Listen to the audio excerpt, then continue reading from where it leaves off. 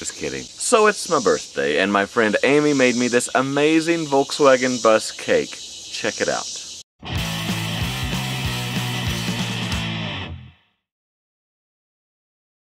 I don't even want to think about how much time she put into this cake.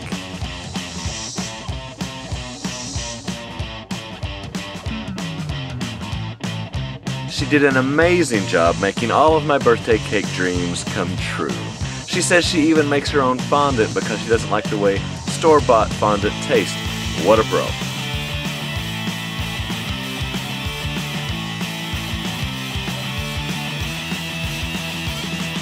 Please go check her out on Facebook, Batter Up Custom Cakery. I'll leave a link down there. You may know her husband, ErikTV365, here on YouTube. Go check out their daily vlogging channel.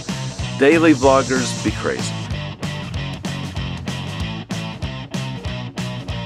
On my channel, I show you how to build the life you want through the examples of food, farm, home, and travel. If you'd like to see more of that sort of thing, subscribe over here.